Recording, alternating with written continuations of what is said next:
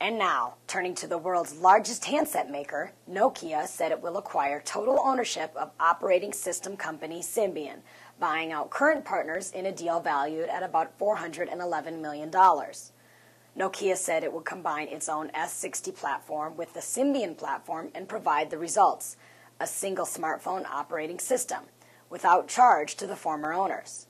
The new Symbian Foundation will oversee the platform.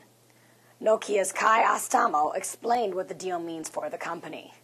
For us, the Symbian platform will offer greater efficiency and let us, let us reach more consumers with converged devices while maintaining the platform consistency, which then is a, the, the, the fuel for innovation, fuel for application development, will act as a magnet for application developers to develop on top of the new Symbian Foundation code line.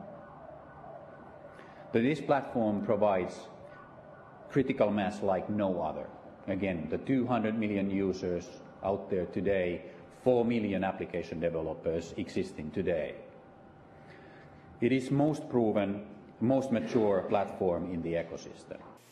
However, Nokia's Symbian effort will face stiff competition from the likes of Google's Android, the Limo Foundation's Linux platform, Microsoft Windows mobile operating system, RIM's BlackBerry offering, Apple's iPhone platform, and a host of smaller competitors.